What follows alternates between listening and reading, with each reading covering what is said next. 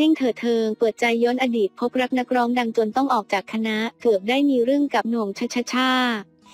เรียกได้ว่าแม้จะสร้างรายได้จากการเป็นตลกชื่อดังและนักแสดงแล้ว เขาคนนี้ยังใช้ชีวิตสมถะติดดินสุดๆ ทั้งยังสอนให้ลูกไม่ฟุ้มเฟือยสำหรับเท่งเถิดเทิงนักแสดงอารมณ์ดีที่มีชื่อเสียงอย่างมาก ซึ่งลูกชายของเท่งเถิดเทิงโง่เฮงก็ได้ผันตัวเป็นยูทูบเบอร์ชื่อช่องว่าแก๊งบาทีเอ็ม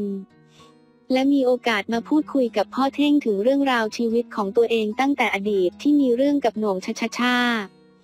มาแล้ว เท่งเล่าว่าสมัยก่อนตลกมักจะเจอกันที่โต๊ะสนุกเกอร์สายใต้ ถ้าเลิกงานก็จะมาเจอกันมาแลกงานกัน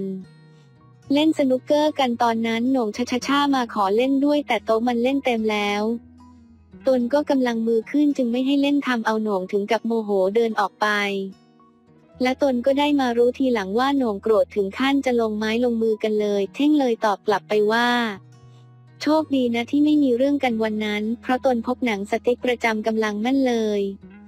กระทั่งได้เจอกับโหน่งที่คณะตลกของชูศรีเชิญยิ้ม และยังทำให้ได้เจอกับแม่มาลา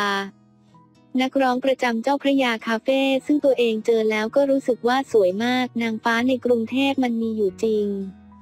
ก็ได้แต่บอกตัวเองว่าแค่ได้เห็นก็เป็นบุญตาแล้ว ตอนนั้นตลกคณะชูศรีโด่งดัง และมีแต่คนอยากดูเท่งเลยได้ร้องลิเกจีบแม่มาลา แต่ดันไปเห็นเสียที่ชอบแม่มาลาเหมือนกันกำลังลงไม้ลงมือกับนักร้องชายอีกคนที่ชอบแม่มาลา ตนจึงกลัวมากและรีบขอตัวกลับบ้าน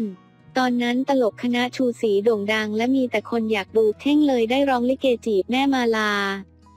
แต่ดันไปเห็นเสียที่ชอบแม่มาลาเหมือนกันกำลังลงไม้ลงมือกับนักร้องชายอีกคนที่ชอบแม่มาลา ตนจึงกลัวมากและรีบขอตัวกลับบ้าน แต่พอได้เริ่มคุยกันจีบกันทางญาติแม่มาลาไม่พอใจจนได้มาอยู่ด้วยกัน และมีปัญหากับคณะก็ลาออกมา แต่ก็ยังคงอยู่ด้วยกันจนสร้างครอบครัวเหมือนทุกวันนี้